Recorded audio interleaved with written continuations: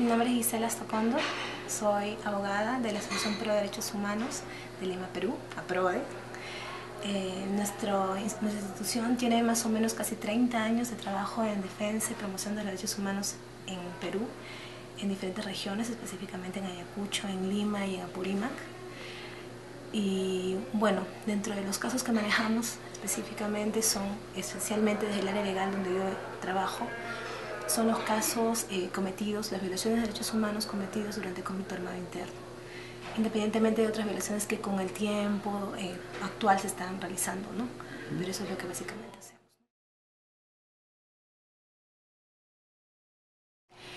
Eh, en Perú, desde el año 2004, en base al, acatamiento de las recomendaciones de la Comisión de la Verdad y Reconciliación que se implantó que, o que trabajó durante el año 2001-2003, en el 2004 se instauró un, subsistema de derechos humanos. Esto es, jueces, fiscales, dedicados a ver casos de violación de derechos humanos. Los primeros años fueron alentadores, tuvimos varias sentencias condenatorias contra perpetradores de derechos humanos, específicamente en casos de desapariciones forzadas. Sin embargo, en los últimos años, luego del gobierno de García y bueno, ahora con el reciente, hace un año, el, señor Ollanta, los retrocesos de judicialización han sido bastante evidentes. ¿no? Han habido muchas sentencias absolutorias, entre ellas también casos de torturas cometidos durante la época de conflicto, del 80 al 2000, y es muy difícil el tema de probanza para poder lograr justicia y sanción a los perpetradores en mi país. ¿no? Una de las mayores falencias en el caso específico de tortura, ya sea eh, de hechos cometidos durante el conflicto armado, épocas ya como te digo 20, 30 años atrás, o incluso casos este, más actuales, es que desde el Ministerio Público, que es la entidad que tiene que hacer los exámenes oficiales para el, que si la, la, probanza del delito o las secuelas del delito, es que si bien hasta, hasta hace más o menos dos años existía un equipo multidisciplinario que aplicaba el protocolo de Estambul, o bueno, lo que es el, su equivalente, el protocolo en Perú, se desactivó. Entonces hay muchos profesionales médicos legistas que no conocen el protocolo, que no saben cómo aplicarlo y obviamente los informes médicos que se hacen a las víctimas son muy deficientes. Entonces eso acarrea que a nivel probatorio pues sea mucho más difícil. Se complica más en temas o en hechos, perdón, de hace 30 años, pero en épocas actuales igual, porque no manejan, no tienen experiencia en la aplicación del protocolo para para la tortura de Perú, entonces el nivel de probación se hace más débil y se, pues, obviamente hay impunidad respecto a esos casos. ¿no? La tortura en Perú no es sistemática y generalizada como en algún momento en época de conflicto lo fue. Desde el año 98 el Código Penal tipifica el delito de tortura.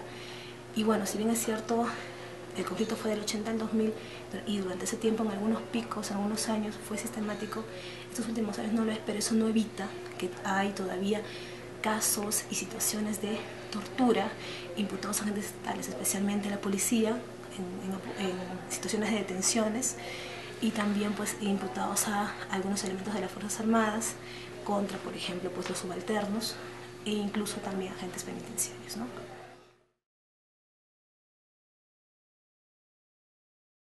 Nosotros como APRODE tenemos experiencia en lo que es el litigio ante el sistema interamericano de derechos humanos. Tenemos varios casos ganados, en muchos de ellos emblemáticos como Cantuta, Barrios Altos, ¿no? los últimos, en los últimos años Gómez Palomino y, y bueno, este que de Tansualdo, que son sobre justamente hechos que pasaron de conflicto armado interno. Sin embargo, también somos conscientes de que hay el, tema de tiempos, el tema de plazos, el tema de expectativas de, nuestras, de nuestros patrocinados, a veces se ven un poco complicados por, justamente por todo ese proceso largo de tramitación ante el sistema interamericano que ha sido muy efectivo en muchos casos, ¿no? Y que lamentamos pues que en este momento pues traten de, de vulnerar justamente la eficacia del sistema interamericano.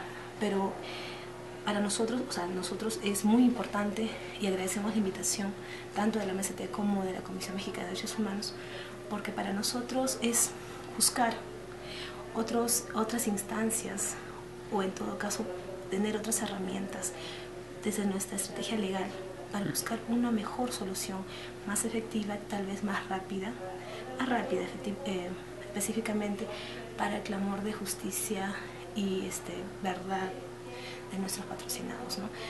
definitivamente estamos este, conscientes que el sistema interamericano ha sido muy, muy conveniente para el tema de reparaciones y de impulsar procesos internos, pero también somos conscientes de que algunas víctimas por el tema de plazos se ven desmotivadas. Entonces queremos buscar y justamente otras herramientas.